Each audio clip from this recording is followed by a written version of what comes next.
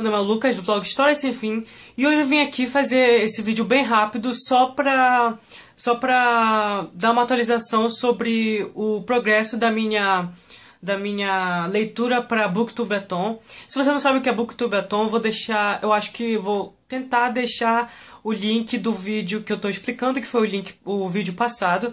Se não, é só você entrar aqui no canal e ver o último vídeo, o vídeo passado lá que tá Booktubeton. Enfim, então, é, vou mostrar o progresso de leitura é, dessa maratona. Então, a maratona começou meia-noite de hoje, né? Meia-noite de hoje. E eu, quando deu meia-noite, eu logo comecei a ler o Desventuras em Série, que é o terceiro livro de Desventuras em Série, que é o Lago das Sanguessugas, do Lemon Snicket. Eu comecei porque era bem pequeno, então comecei logo pelo pequeno. E é, eu li mais ou menos por duas horas e meia até duas horas da madrugada, né?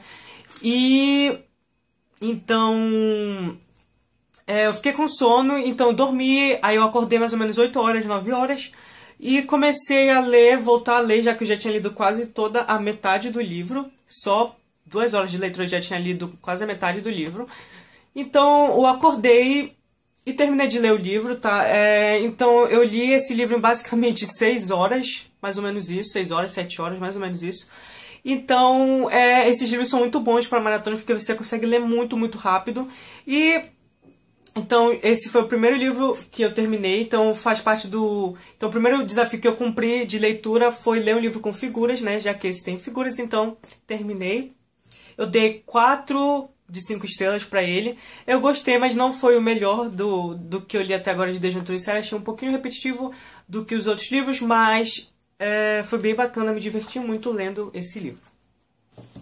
Então, como eu estava adiantado, eu comecei, é, logo depois que eu terminei esse, eu comecei a ler o If I Stay aqui no Kindle e já estou mais ou menos em 20% do livro, é, porque aqui ele não no Kindle ele não fala a página exata, ele só fala a porcentagem, enfim.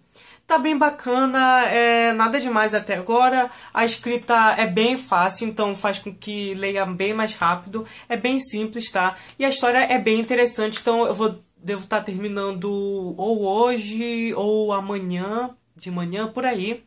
Então é uma leitura bem rápido, eu acho. É isso que eu tenho a dizer sobre a maratona. Tá sendo muito legal essa experiência. Então, se você quiser saber mais detalhes, é, acompanhar eu acompanhar melhor né, essa maratona, é, eu tô atualizando toda hora lá no Twitter aqui da página, que é o paisagem do medo. Me sigam lá, tô toda hora tweetando sobre a Booktubeton. E também siga o Twitter da, da, da Booktubeton para você ter mais informações, às vezes tem sorteio, essas coisas. E é, Booktubeton. É, provavelmente se vocês virem lá no, nos meus tweets vai ter alguma mencionando tá, esse usuário, mas enfim. Então é isso, pessoal. É só um vídeo bem rápido, sem cortes, tá? Esse vídeo, porque eu vou botar direto aqui do celular. Me desculpe pela qualidade da, da câmera, mas enfim, é só pra ser um vídeo de atualização. E então todo dia eu vou estar fazendo essa atualização. É, hoje eu não vou fazer o desafio de vídeo, tá? Eu acho que provavelmente amanhã eu faça. Mas enfim, é isso pessoal, espero que vocês tenham gostado. Se vocês gostarem, dê o like aqui embaixo, inscreva-se no canal se você não. Espero ver vocês amanhã. E se você está fazendo essa Batom, boa sorte, porque eu sei que é bem difícil. Mas enfim.